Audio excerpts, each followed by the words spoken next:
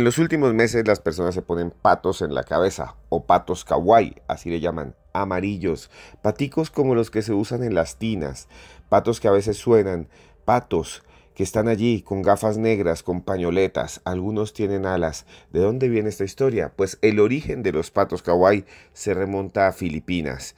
Son accesorios que no se atribuyen a un personaje en particular, no son un protagonista del anime, pero la gente que le gusta el anime los está usando. Desde el año 2015, jóvenes y niños de países asiáticos como Japón, como Corea, como China, empezaron a usar broches de pelo con una planta de plástico. Era una forma de evitar lo que ocurría en algunas series de anime. Incluso eso llegó a México, Colombia, Perú, pero ahora la gente se coloca esos paticos, los paticos kawaii, como forma de mostrar su alegría. En este podcast de Cruz Escribiente vamos a escuchar ahora una historia aterradora sobre esos paticos a los que acusan ahora de ser del mal. Vamos a escuchar muchas historias más. Este es un especial de historias de terror, de historias de ficción, junto a Daniel Tres Palacios y el escritor Luis Suescún. Así que abróchese los cinturones y escuche hasta el final, hasta el final, hasta el final, porque esto es Cruz Escribiente en una historia especial de cuentos y narraciones de terror.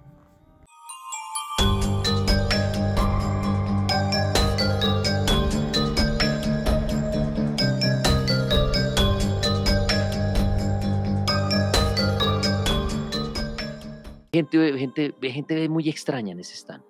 La verdad, si quieren sentir energías extrañas, vayan a ese stand en la Feria del Libro. Y pues está nada más y nada menos que el señor Esteban Cruz Niño y el señor Suescún, Luis Suescún. Y aquí están en el cartel de la Mega. Señores, desde la Feria del Libro acaban de aterrizar aquí en la Mega. ¿Cómo están ustedes? ¿Cómo les ha ido?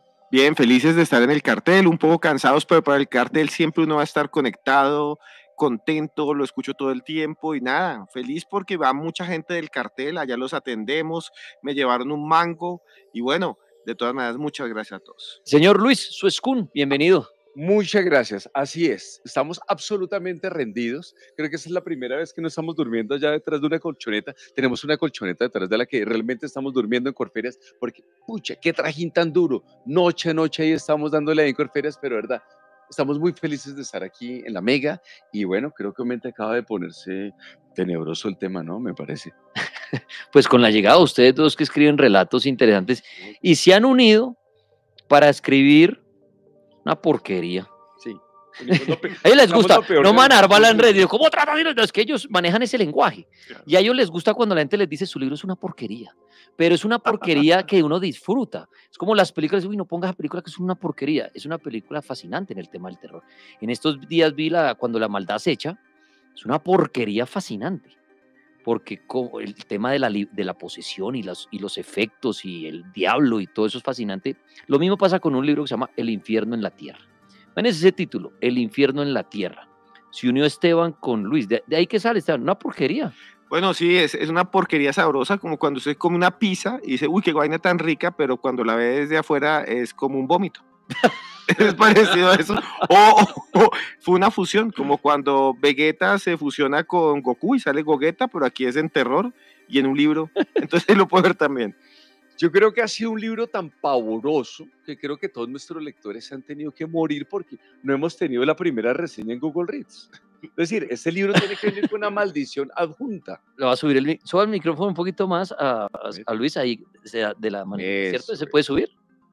Sí, ¿cierto? Que Paul me lo acomode ahí para que le quede más ahí. Pero sí, pero venga, obviamente, para los que no conocen a Luis Suescún, cuéntenos un poco de su recorrido como escritor de terror, Luis. Para que vean esta unión tan poderosa. Es que ninguno es una apareció ahí que uno hiciste quienes no. Conozcan y miren la unión que se ha formado. Espera un momentico. Ah, bueno. A ver, para que conozcan a su Skun y también un poco a Esteban, siempre hay oyentes nuevos. Ya le están acomodando otro micrófono. Muchas gracias a la logística de Paul ahí. Ya, le van a, ya se lo, van a subir más. Mire, eso es todo. Esto es en vivo. Esto es acá en vivo. ¿Cómo le acomodan el micrófono? Esteban está que eh, se, soba un hueco que le dejó una muela que se le cayó en la, feria. Está dando recompensa al que encuentre una muela que está en el pabellón 17. Quiero una prótesis eh, de marrano, porque el otro día vi que a alguien le pusieron un diente de cerdo en el... Y un riñón, ya vi por ahí la noticia. corazón de marrano, hasta cuero de marrano. Una muela de marrano está pidiendo A ver cómo queda. Por eso necesita... Espera que ese micrófono todavía no está. No, todavía no suena a pulpo.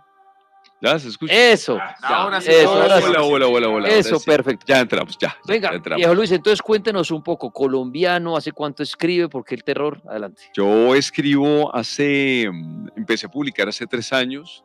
Eh, me encanta el terror, pero me gusta el terror visto como mm, como algo cultural, porque para, para, mí el tema no es tanto asustar, sino generar como una alteración cultural. En últimas, lo que nosotros llamamos miedo, lo que nosotros llamamos terror, es una diferencia cultural entre lo que nosotros consideramos propio y otros consideran ajeno. Por ejemplo, el canibalismo. Uno dice, qué horror el canibalismo. Dígale eso a los de la llanura africana, lo ven perfectamente normal. Entonces, esa es la diferencia entre lo propio y lo ajeno. Esa diferencia cultural se llama miedo, se llama terror y ya, ¿qué te cuento yo? Llevo tres años publicando, tengo tres libros. Tres años, van 13 libros. ¿13 libros en tres años? Sí, claro, le vendí el alma al diablo y eso es buenísimo. usted no hace nada en su vida sino solo escribe. Eh, no, no, no, hago miles, es que ese contrato permite muchas, es, más útil que la tarjeta Falabella, es decir, es muy útil, muy útil.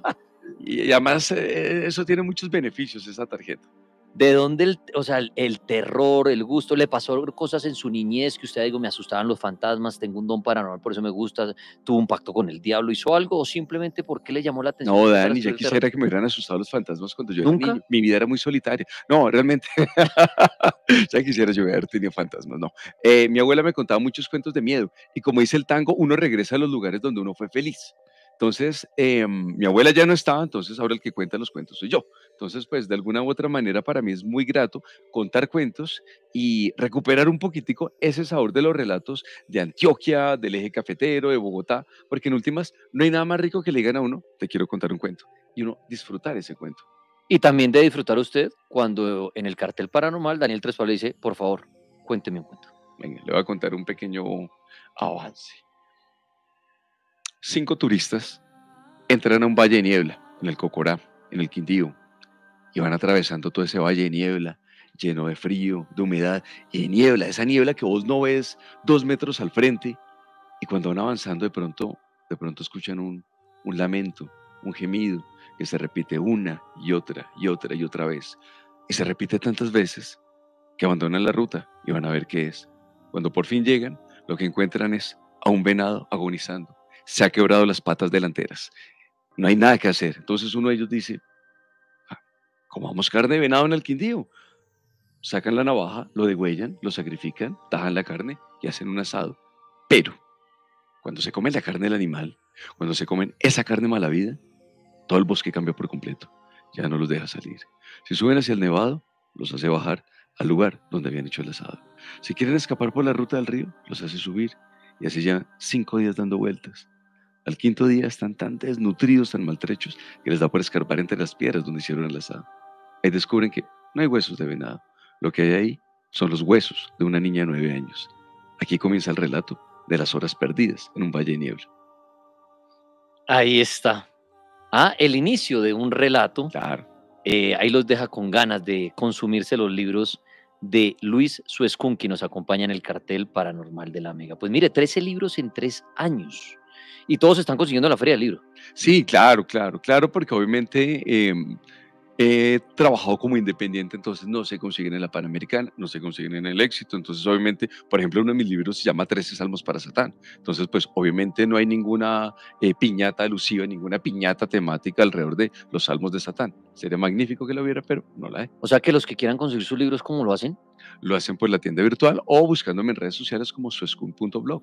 Suescun.blog. Ahí lo buscan y le escriben, oiga, quiero comprar un libro suyo. Claro, me buscan en Twitter, en Facebook, en Tinder. No, Tinder no es una red social para esto, eh, pero me encuentran por todos, por suescun.blog y también cuento cuentos en TikTok.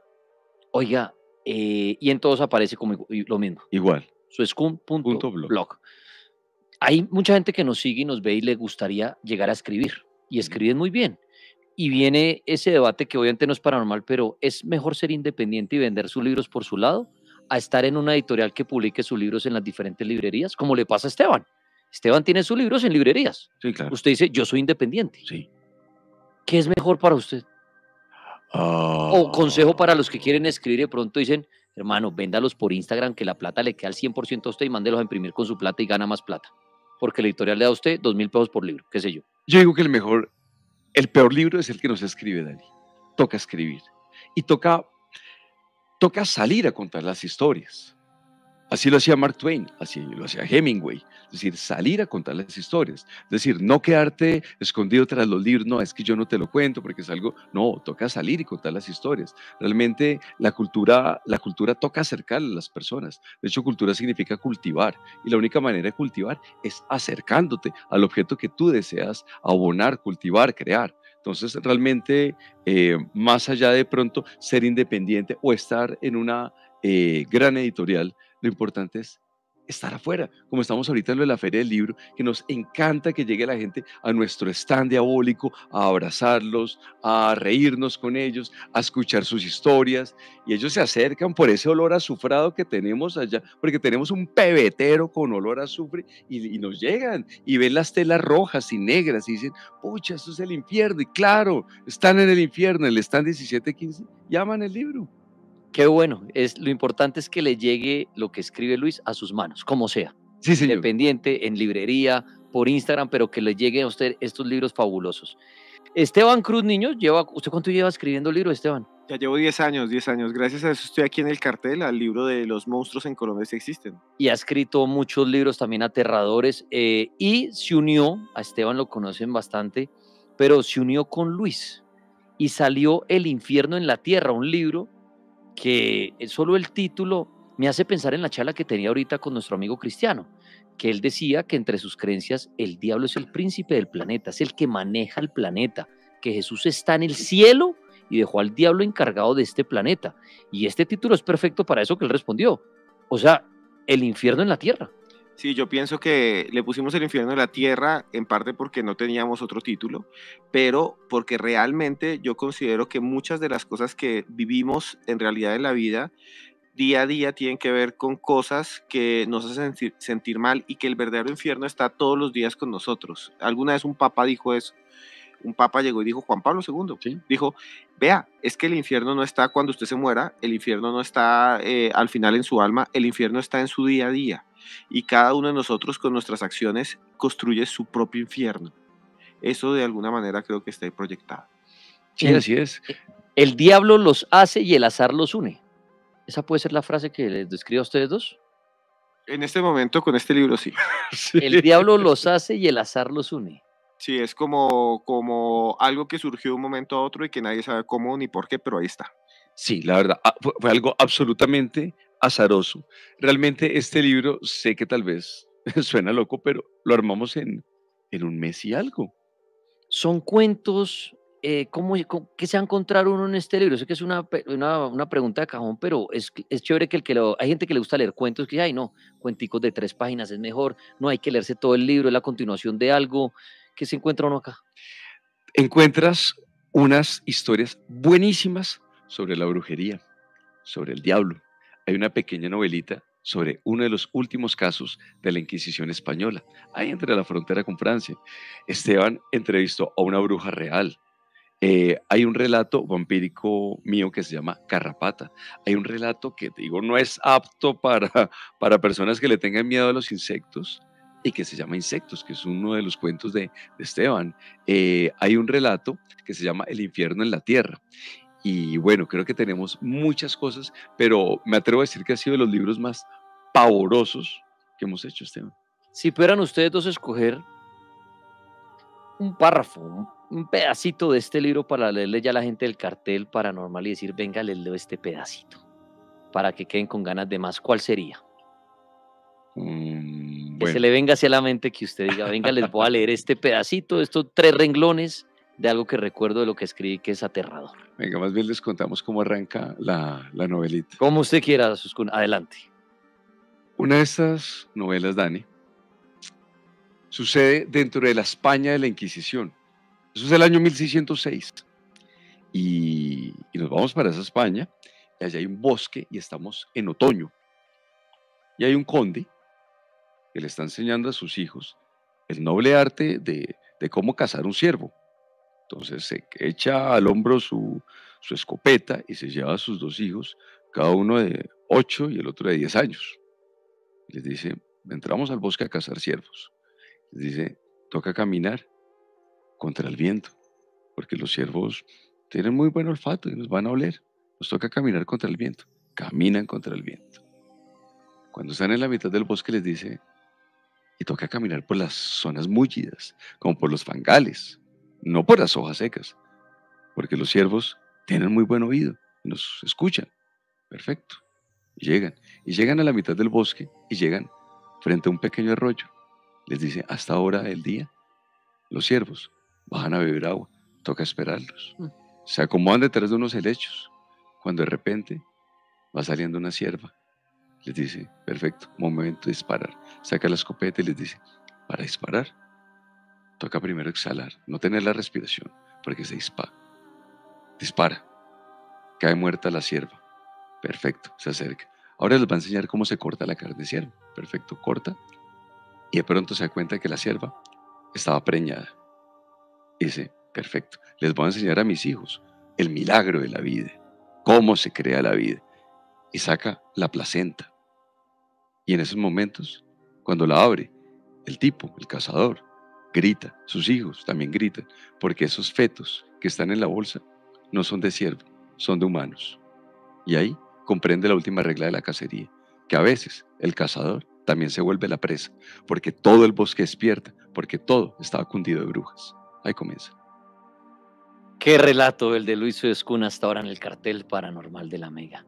Increíble. Oye, y me contaron que usted en la feria también cuenta sus cuentos, ¿no? Se para ahí en el stand y le da por contar hasta con un megáfono, mi hijo este. no, pues, no, es que es que llegó un colegio que obviamente eso siempre tienen. ah, llevan niños al claro, stand. Claro, llevan megáfono, entonces. Hay un niño perdido en la zona 3, por favor. Hay la mitad de un niño perdido en la zona. obviamente se llaman todo por megáfono. Entonces llegó un profesor y le ay, pásame el megáfono. Entonces les conté un cuento y, ah, aprovechando el megáfono. ¿Le contó un cuento a los niños? Pero los niños aman, aman esta cosa. Imagínate que me llegó una niña hace mm, tres días, divina la niña, mudando dientes y con la trilogía con la que tú has visto de los relatos. No, su escudo, yo amé estos cuentos, magnífico, porque es que esto, esto también, yo digo que es para la familia, es decir, aquí no hay nada eh, maluco, ¿no?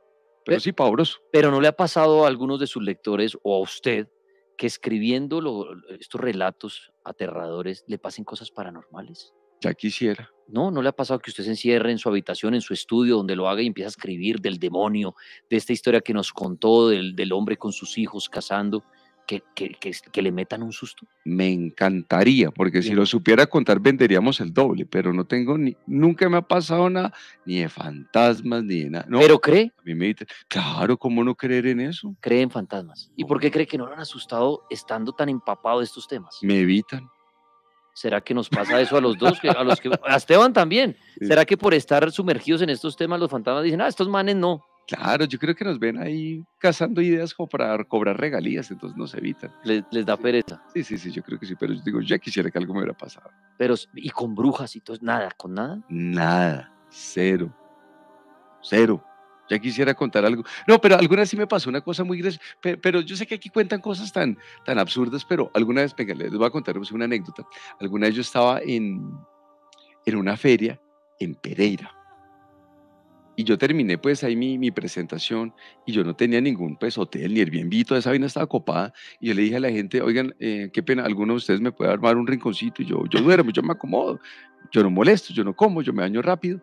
Y no, la gente no, no, no, algunos que sí. Y de pronto alguno me dijo, pregúntele, vaya a tal lado, ¿sí? A un restaurante que allá alquilan habitaciones para estudiantes. Yo, bueno, hágale. Yo todavía quepo como estudiante. Me fui allá, almorcé, ta, ta, ta, y me dijeron, Sí, hay una señora. Tome el teléfono.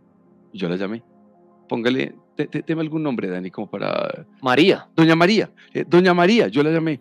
Doña María, ¿usted tiene habitaciones? ¿Y sabe qué me respondió esta señora? Eh, ¿Usted es deportista extremo? Yo le pues, sí soy extremo, pero no soy deportista. Soy tan extremo que vivo de la literatura, eso es too much. Y la vida me dijo, sí, sí, sí, sí, sí, porque es que yo solamente eh, alquilo para deportistas extremos. Le hágale. Y esa vaina terminó como a las nueve de la noche de la feria.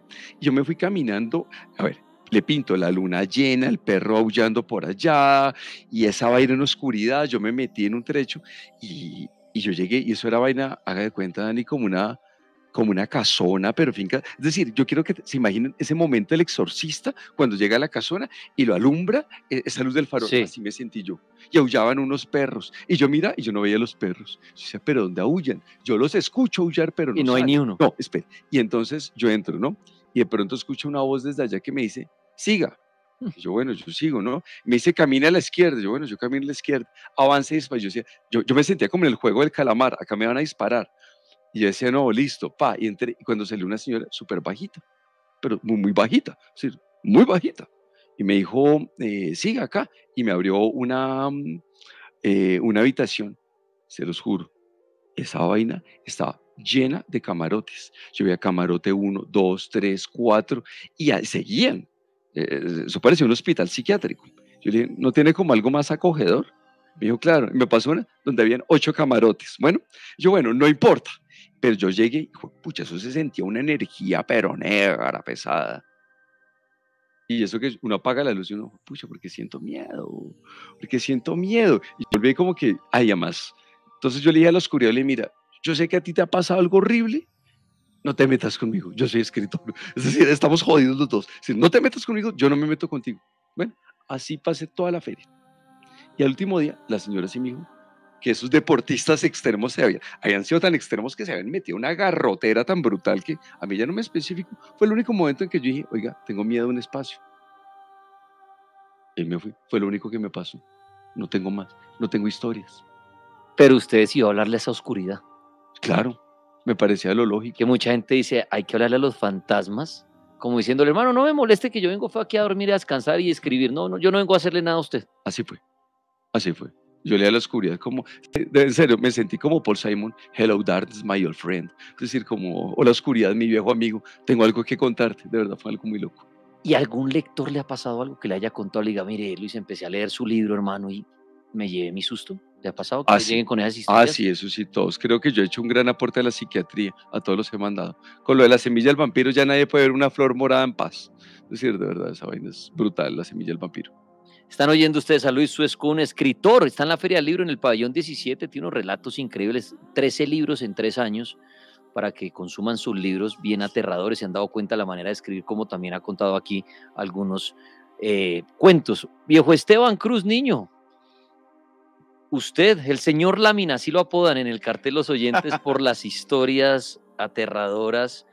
¿Qué historia quiere compartir? Ah, ya Luis nos, nos narró ahí cuentos. ¿Usted qué nos quiere contar? ¿Qué historia? Daniel, que está pasando algo muy interesante, que están saliendo un montón de mitos urbanos, que son mitos urbanos, esto no es real, es un mito urbano que he escuchado últimamente. ¿Se ha visto usted en la calle que a veces van los niños, los jóvenes, hasta he visto ancianos con unos pollos plásticos en la cabeza? En la feria del libro que estuvo el sábado vi una cantidad de gente con unos pollos, los venden en los semáforos, en todas partes también de esos pollitos. Son patos. Eso. Eso, los patos, de, que ponían en la tina a flotar. Sí, la historia es, eh, Paul la conoce bien. Más o menos, que es una vaina que viene de China. Ajá, dicen que se eh, volteó en algún momento un container con esos patos y entonces que alguien tomó esos patos, que son patos de, tina, de pato de baño, que generalmente se, usan como juguete. En Colombia no tenemos tinas, es en Europa y en Estados Unidos donde la gente se mete y, y, se enjuaga ahí, se sumerge y ahí juegan con esos patos. Entonces dicen que se volteó uno y que eh, un artista tomó esos patos y empezó a colocarlos en la cabeza, hicieron unos gigantes, dicen que representa la alegría, eso es lo que dice la gente, que representa la alegría, y entonces ya hay unos patos con alas, otros patos con sombreros, otros patos que parecen sadomasoquistas, hay patos de todo y la gente dice que es feliz. Pues bien, están diciendo ya, como siempre, como dijeron alguna vez de Pokémon, como dijeron alguna vez de, de, de eh, todo, de Digimon, de todo lo que ustedes quieran, que esos patos son satánicos y hay unas historias que está empezando a decir la gente que son mitos urbanos. Entonces dicen, ahora se están inventando, pero se lo voy a narrar, que una vez una señora hace poco dice, mi hijo fue y compró un pato, un pato porque están de moda. Y entonces se lo puso en la cabeza y el niño era feliz de un lado para el otro. Y después dijo, no me quiero quitar el pato, mamá, yo duermo con ese pato en la cabeza. Y la mamá, no, quíteselo, que es que tiene que dormir. Y el niño, no, que no, que no. Y peleó bravo y no. Así como los, extraterrestres de Futurama. Eso, y empezó a dormir. y el niño empezó a cambiar. Eso es lo que dicen, que el niño empezó a cambiar y que el niño empezó a, a ser otra persona y que ya no era un niño feliz, sino que era un niño bravo y entonces ella que se quite el pato y que no me quiten el pato. Y después la señora dicen, este es un mito urbano, que escuchaba al niño hablando solo, que se iba y escuchaba que el niño hablaba solo en la habitación y empezó a hablar y le dijo, oye, ¿con quién hablas? dice, con él, con el que está en mi cabeza. Mm. ¿Y qué te dice? Que los mate a todos o que, o que les haga daño a los demás. Y entonces la señora dijo, no, esto ya está terrible, le voy a quitar el pato. Dicen que cuando le quitó, no podía porque ya el, el, alambre lo tenía incrustado en el cerebro. Esa es la historia que están diciendo por ahí de esos patos, que es una leyenda urbana de esos patos amarillos, que yo no creo, pero es una leyenda, un creepypasta que quería contarles acá. Los que no lo han visto, eso nos llamaban los paticos de hule, ¿no era el nombre clásico? Sí, los, los paticos de, amarillo. sí, es unos paticos amarillos que de verdad no los han visto, alguna gente sí los han visto, eso los están viendo por todas partes, unos paticos ahí que, pues yo ya no leo la gracia, de pronto los niños sí, pero sí, en la feria había un poco de gente con unos patos para arriba y para abajo, pero ahí está la historia, la leyenda urbana de Esteban y los paticos que se introducen en el cerebro. Pero nos han llegado hordas de esos zombies de patos, te cuento. Es que yo, yo fui a la feria y todo el mundo tenía sus patos. Todo el mundo, yo, yo no sabía qué era, yo decía, ¿qué es esa logia? O sea, ¿qué, son esos Illuminatis que andan con esos patos? Yo no lo sabía, Dani. Y están acá a contar, o sea, es el pato de la felicidad, según cuentan. Según la, la idea es que el pato representa la alegría, el espíritu alegre de cada uno de nosotros. Pero como siempre en todas estas cosas, pues la gente empieza a inventar, ¿no? Que, son satánicos, que, que, se los pone que es un espíritu para invocar, que ese pato realmente es tiene un chip y que manda energía al cerebro y entonces que en ese momento están volviendo a la gente bestia y bruta, que fue creado por los Illuminati, que los creó George Soros, que, que bueno, más adelante yo creo que el maestro Robles en una semana nos hablará de la conspiración de los patos. Podría ser eso. Sí, no, no, Robles ya está diciendo los patos y la conspiración. Ya tiene el guion. Que cada pato trae una marca a la bestia. Yo no soy capaz de pues dormir después de esa historia. Pero qué tal que llegue a su cama, destienda las ollas y hay un patico. Me muero. Podría, lo cocino. Podría pasar. Microondas. Podría pasar microondas. Como para exorcizar ese pato diabólico. Oiga, ¿y la feria qué tal ha estado? Chévere. Muy buena, ha sido una feria muy buena. Eso la hemos pasado bueno, ¿para qué? Realmente creo que ven las fotos y, la hemos pasado muy bueno. Mucha gente. ¿Y, ¿Y, el terror cada vez cogiendo más fuerza en la literatura? O sigue o, es o no, o, no, o no vende mucho, muy poco están de terror o si le apuestan mucho. Yo vi muchas están de terror de ventas de cosas, ¿no? Libretas aterradoras, muñecos, camisetas, pero me refiero a la, literatura. los libros. Hablábamos con, con el señor Suescun que hace unos 10, 5 años solo había uno o dos libros de terror colombiano. Es más, hace 20 años no había ni uno, ni uno. Hoy en día hay un montón y, qué bueno que crezca. Eh, hay un montón de autores y qué bueno que crezca. Y si creces porque hay demanda, ¿no? Y oferta. Ahora, lo que hemos hecho es un libro que, que, tiene historias y también tiene crónicas y que yo creo que aporta un poco a esa historia del terror colombiano. Y por primera vez ahí van a ver relatos míos que ya no son reales, sino que son de ficción, ¿no? Eso iba a preguntar, ¿estos no son reales? O sea, usted se soyó y se inventó eso que escribió. Hay un miti miti. Hay, hay, hay unos que sí son, por ejemplo, historias del diablo, de gente de leyendas que se han encontrado el diablo, como la del pollo del demonio, que aquí han contado muchas veces. Ahí hice una recolección. También entrevisté para una bruja en la primero de mayo en un consultorio. Ok. Entonces ahí está transcrita eh, eh, esa, esa entrevista. Eh, donde cuenta cómo hasta amarres y qué es lo que hace y, cómo le echa tierra de muerto y cómo consigue la tierra. Ahí está. Y también hay unas historias muy buenas de Suscon, incluso una que tiene que ver con un lugar que le encanta al señor Daniel Tres Pareces, que es Villa de Leyva. Una ¿Ah, historia de terror en Villa de Leyva. Uy, un, medio spoiler de, o, qué contó de Villa de Leyva, que hay fantasma, bruja, extraterrestre, ¿qué? No, bueno, él le cuenta que hay un momento eh, muy bacano de dos brujas que son gemelas. Ok. Ya empieza el tema a ponerse complicado. Resulta que hay un momento en el cual ellas hacen una visita sorpresa a un señor. Es un señor ya, ya tiene sus años. Y el tipo les ha quitado algo a ellas. Y van en son de venganza. Al tipo le abren la camisa, le quitan la cédula, la ponen en un plato, cada una escupe, cada una se corta el dedo cada una suelta un poco de sangre. Luego le ponen un poco de hierbas, mandrágora, etc. Y lo meten al microondas. Y obviamente, la cédula del tipo se empieza a incendiar. Y en ese momento, el tipo también se empieza a incendiar desde adentro. Y lo último que quedan son dos llamaradas de los ojos. Y son unas gemelas brujas en Villaleiva. Son dos viejecitas. No, muy queridas y también venden lana y venden cosas, pero es mejor no robarlas, es mejor no hacerles daños. también yo creo que esta literatura tiene muchos valores. No robarás. Espero no, no, no encontrarme las viejitas gemelas en Villaleiva. No, y además es muy claro en dónde están, entonces pues por si acaso un lugar que usted conoce mucho, una calle que tiene nombre, que le dicen la calle caliente. Ahí pasa todo. En claro, y ahí hay unos árboles que yo he mostrado que dicen que ahí se esconden las brujas. Ahí están los árboles en la calle caliente. Oye, interesante. ¿Y ese relato está ahí? Ese relato está ahí. Es que realmente el tema de los relatos de brujas son muy interesantes. Realmente, mira que nosotros queríamos, ya hablando en serio, hacer de este libro algo muy especial porque no existe bruja, sin que haya habido mediante un, un matrimonio infernal. Es decir, la figura del diablo y la figura de la bruja son simbióticos culturalmente. Es decir, realmente no hay forma de hablar del diablo sin, sin que no esté la bruja y viceversa.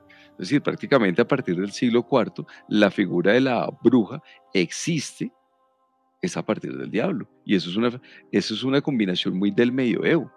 De ahí para atrás, ¿qué tenemos? La hechicera. Es decir, los reyes iban a armar una guerra, preguntémosle a la hechicera en dónde la armamos, que mire el calendario, qué día es bueno para armar la, guerra. Es decir, la hechicera estaba bien hecha. ¿sí? Era un cargo aceptado. Es decir, por ejemplo, desde las, la hechicera de Saúl, que está en la Biblia, todo lo que hablaban ahorita, todo eso está aceptado. Pero cuando entra la bruja, no, a la bruja le espera la quema. Entonces es una manera que nosotros contar un poco de esto, pero obviamente estamos ficcionando y estamos hablando acá, por ejemplo, del martillo de las brujas. Entonces obviamente que es ese manual horrendo escrito eh, de cómo torturar a una bruja. Entonces es una cosa loca, eso ahí no tiene asidero, eso es un tratado criminal. Pero nosotros eh, sobre eso ficcionamos y creamos una obra de, de terror particularmente siniestra. Y que en Colombia, pueblo que se respete, vereda, todo, hay bruja.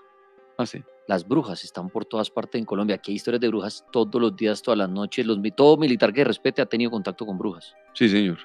Entonces, claro, escribir sobre brujas también es fascinante y sobre todo en este territorio donde no solamente dicen que existen, mucha gente da fe de ellas, que existen, que la vieron, que se convierten en aves, que cómo capturarlas con la famosa sal, las tijeras abiertas, cantidad de rituales.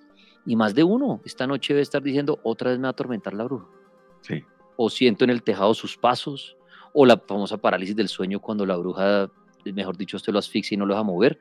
Las brujas están en los hogares colombianos y están en los libros de ustedes. Sí, señor. Y ahí hablamos de todo eso, hablamos de esa conexión que, dice bien Luis con el diablo. Entonces, el infierno está poblado de demonios, de almas, de gente malvada, y también está poblada de, de criaturas que vendieron, o de seres humanos que vendieron el alma al diablo. Entonces, cuando usted le vende el alma, al diablo, usted queda condenado es al infierno. O sea, al final lo que pasa es que usted se muere y así se arrepienta, se va para el infierno. Aunque algunos dicen que si se arrepiente se rompe el contrato, ¿no? Y se va con Dios. Eso dicen muchos antes de morir. Entonces hay gente que dice, engañé al diablo firmó el contrato, tuvo mujeres, tuvo eh, trago, tuvo poder, tuvo dinero y en el último segundo, en el último segundo dijo, me arrepiento y voy con Jesús, entonces rompe el contrato. Pero los que no alcanzan a hacer eso, ese arrepentimiento se van al infierno. Y el libro, el libro que tengo aquí en las manos, para los que están en TikTok se los voy a Muéstralo en las cámaras de YouTube, de Facebook. de YouTube, ahorita les muestro en todas partes, ahí está El infierno en la tierra, para que lo vean. El libro tiene, es eso, tiene historias de brujas, historias del diablo y está centrado en eso en historias de demonios. Por ejemplo, ahí yo narro en algún momento esas apariciones que se dice surgen en los hospitales también de demonios, de cómo en los hospitales aparecen no, no ángeles, no seres que van a curar a la gente, sino demonios, como las parcas que se van a llevar. Y hay gente que me contó eso, entonces ahí hay varias de esas historias, ¿no? Es un viaje al infierno, es un viaje a esas criaturas infernales. Y sabe que me gusta aquí, ojeando un poquito, que está leyendo uno y se siente identificado en el lugar donde vive, en, Colombia, en la ciudad, en su barrio.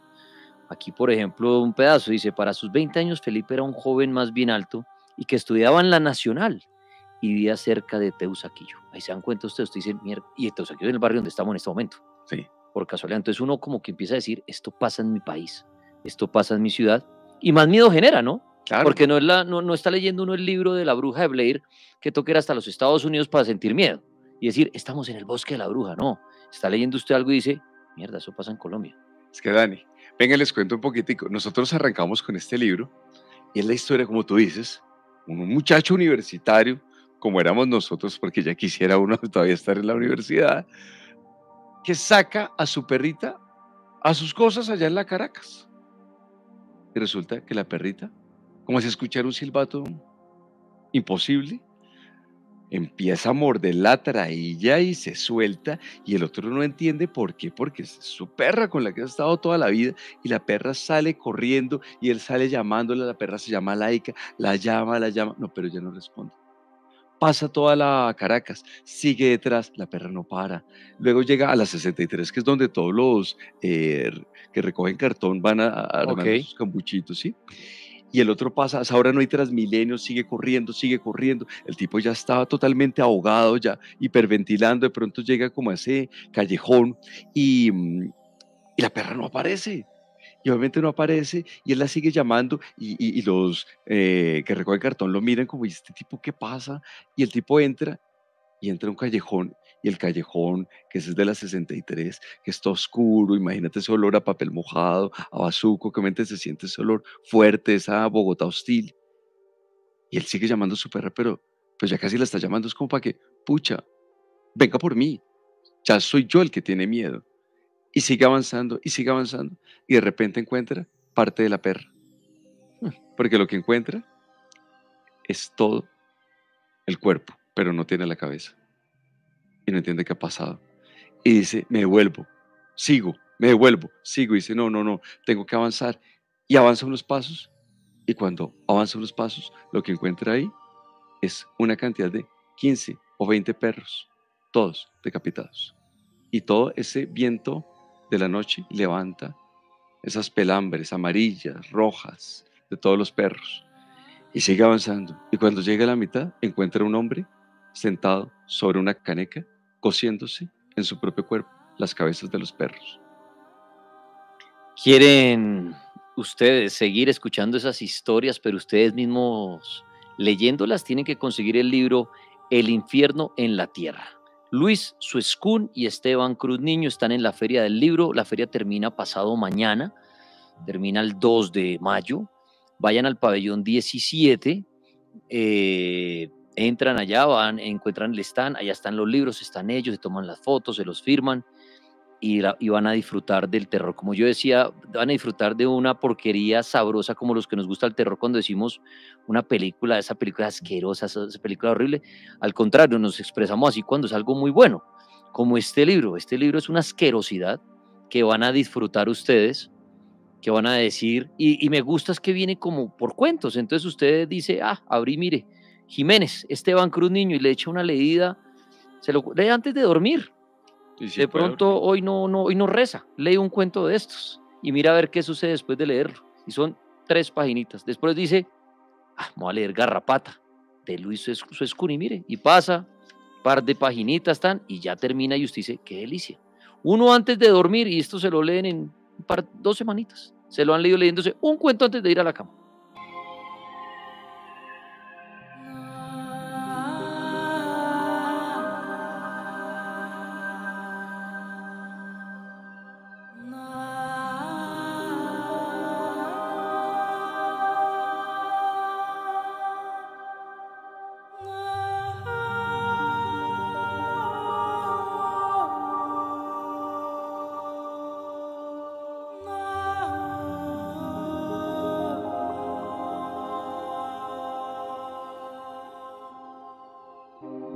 Muchas gracias a todos ustedes por estar aquí. Ha sido un podcast distinto, narrándoles historias de terror junto con Daniel Tres Palacios, junto con el autor Luis Suescún. Pueden buscar mis libros, mis libros Expedientes X Colombia, El infierno en la tierra. También pueden buscar eh, mis libros Los monstruos en Colombia si existen. En cualquier lugar, en cualquier librería, allí están. Es un podcast diferente, hemos querido contarles historias eh, paranormales, aterradores, esta vez no reales. Si ustedes tienen alguna historia de ustedes, me las pueden enviar, no las pueden enviar directamente a nuestro correo electrónico. Nos preguntan aquí abajo y ahí estarán. También les recomiendo que nos sigan en nuestros en nuestras redes, perdón, en nuestro Twitter, que es arroba Cruz Escribiente, en nuestro Instagram Cruz Escribiente, y que estén pendientes porque pronto lanzaremos un viaje a Egipto, porque quiero conocer las pirámides junto a ustedes, quiero vivir ese, esa experiencia, quiero estar en esos lugares del mundo. Por ahora los dejo esta vez con un mensaje especial. Usted puede hacer lo que quiera con su vida, usted puede conseguir sus sueños, usted puede luchar por todo, por todo lo que siempre ha amado y por las personas que quiere. Usted puede haber tenido algún problema en la vida, puede haber fracasado muchas veces, pero ahora ya no es usted el que está fracasando. Ahora tiene la oportunidad de corregir, ahora tiene la oportunidad de cambiar su historia, puede cambiarla. Solo me queda decirles eso, solo me queda decirles, usted lo puede hacer, usted lo puede lograr. Y yo a usted, esté donde esté, yo lo quiero mucho.